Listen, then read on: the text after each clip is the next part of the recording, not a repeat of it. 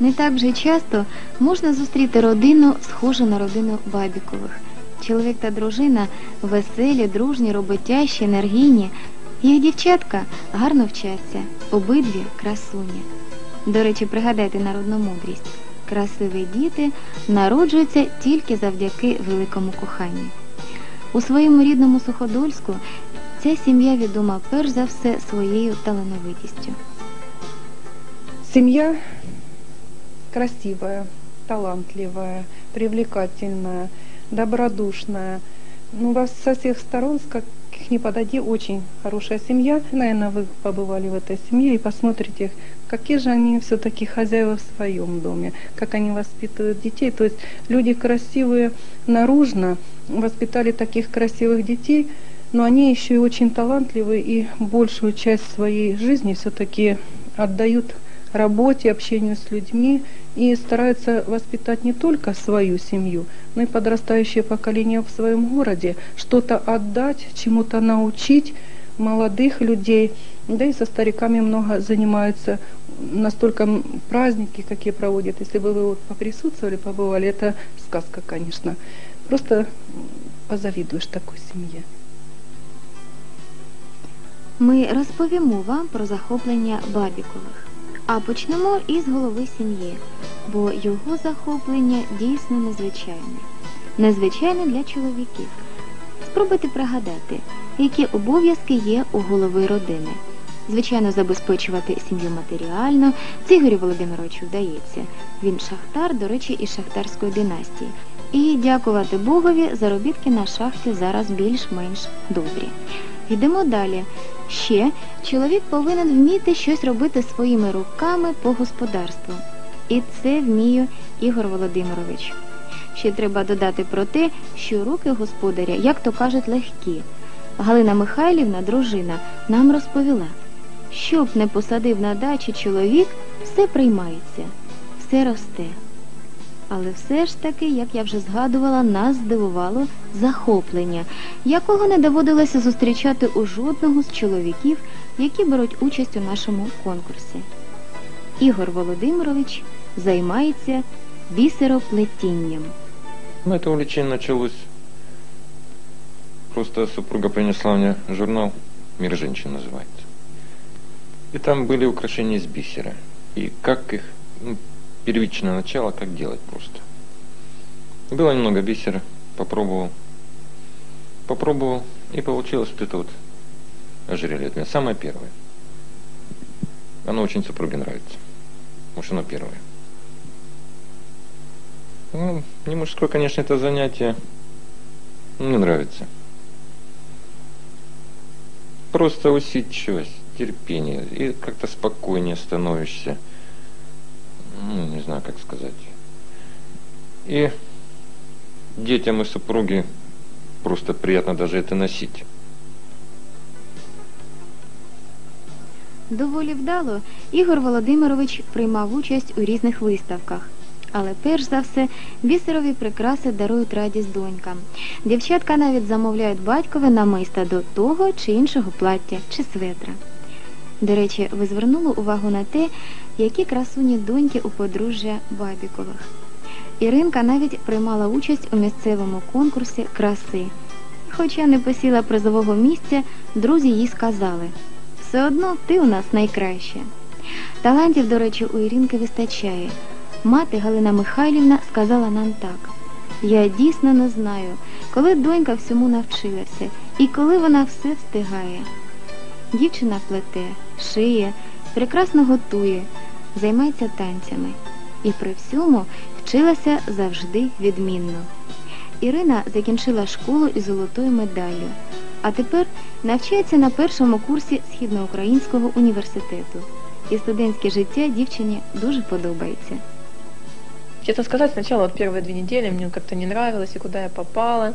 И вот как-то просто, во-первых, живу в маленьком городе, это большой город, и общежитие. Не знаю, сейчас нравится, замечательно, все хорошо. Сессия сейчас идет. С группой как-то вот сдружились, и очень хорошо. Цікавий факт.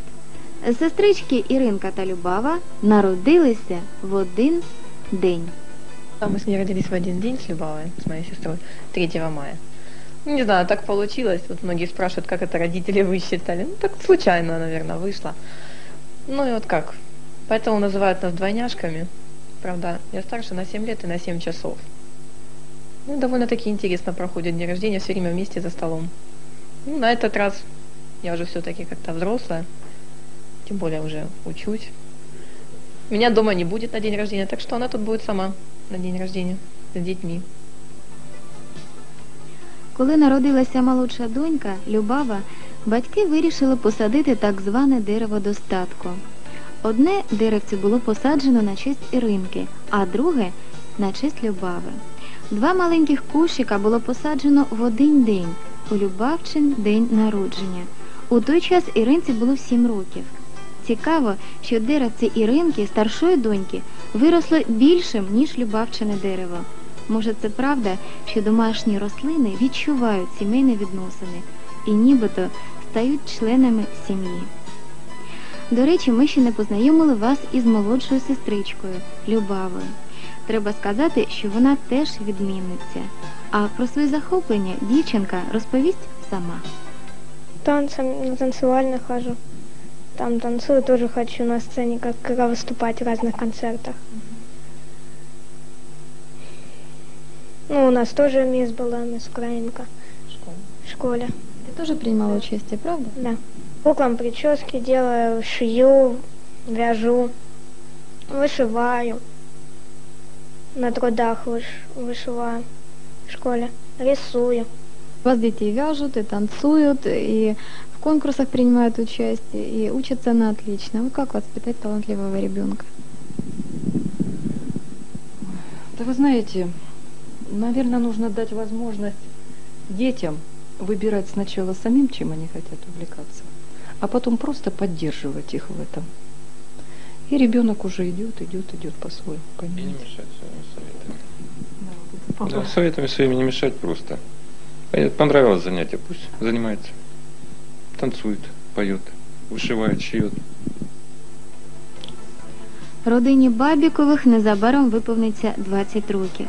Треба сказати, що ініціатором знайомства була Галина. На одному з вечорів вона просто підійшла до Ігора і запросила на танець. І не жалкує. Галина Михайлівна розповіла нам, що бажала б всім жінкам такого чоловіка, як у неї, доброго, роботящого та дуже терплячого. Вообще необычный у нас. Он очень-очень добрый. Очень добрый. И очень-очень спокойный. Вы знаете, я вообще-то по натуре немного... Я немного такая ну, вспыльчивая бываю, конечно. А он очень сдержанный. Вы знаете, я ему даже за это очень благодарна. Бывает, я взрываюсь, а он спокойно выйдет прямо с комнаты, с квартиры, выйдет, посидит немножечко э, во, во дворе, пойдет, выкурит одну сигаретку, вернется, заходит, и как ни в чем не бывало. Галочка, что мы там дальше делаем? Что, мы- чем тебе помочь? Галина Михайлівна не уявляє, як би без допомоги чоловіка вона виховувала дітей та слідкувала за господарством, бо більшість часу жінка проводить на роботі. Галина Михайлівна працює заступником завідуючого місцевим домом культури. На її плечах керівництво дитячим драмгуртком, проведення різноманітних концертів та свят. Чого тільки не організовувала ця жінка для мешканців рідного міста. Свято Івана Купала, конкурс Грай гармонь, змагання на звання найкращої бабусі, вечори, присвячені Дню студентів, Дню молоді. Галина Михайлівна виступає як ведуча цих свят, а ще із задоволенням читає гумористки.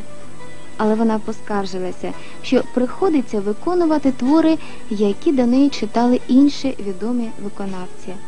А як би знайти свого автора? Може, знайдеться на Луганщині автор-гуморист, який подарує свої твори талановитій виконавиці. Я не знаю. Ну що це за життя пішло, га? Ой. Ви знаєте, як хочеться. Хочеться пойти в ресторан и покушать там дешево и не сердито. Ну за що на нас так сердиться, га? Хочеться, щоб пойти в парикмахерську і пострітися, зробити гарну прическу. І щоб опять-таки дешево. І щоб зарплата була. І щоб менше було платити за комунальні услуги. От знаєте, що єдинственного не хочеться? Так это хоть что-нибудь кожному из нас для этого сделать, понимаете? А если бы мы всем миром, да все вместе, да вместе заработали, вместе начали красивую жизнь, вот тогда бы и наша держава поднялась, и Украина стала одной из первых. Ось вам такий жартливий монолог пострадянської жінки. Як ми вже згадували, Галина Михайлівна більше свого часу проводить на роботі, а Ігор Володимирович після шахтарської зміни займається господарством. До речі, він ще вміє смачно готувати. Та терпеливо чекає повернення своєї дружини. Какая работа? Она проводит мероприятия.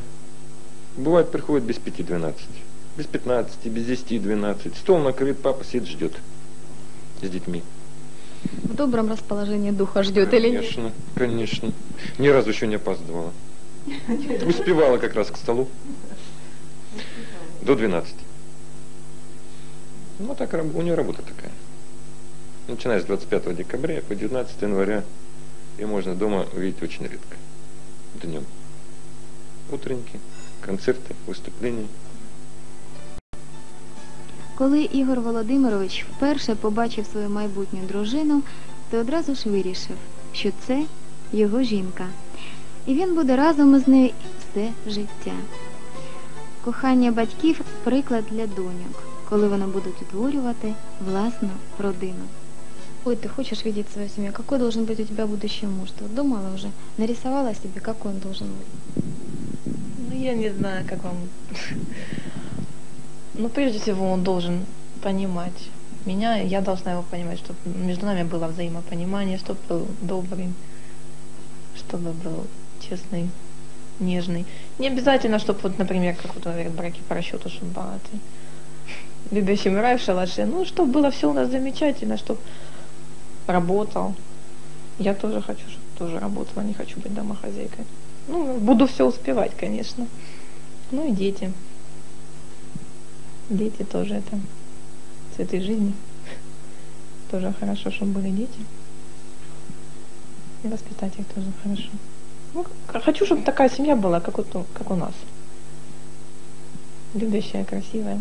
Наша семья, мы просто ну, не представляем друг без друга.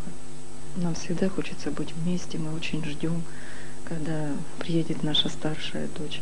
И вообще это для нас такие радостные минуты, когда мы все вместе. Є така українська приказка. Гість у домі мало гостює, але багато бачить.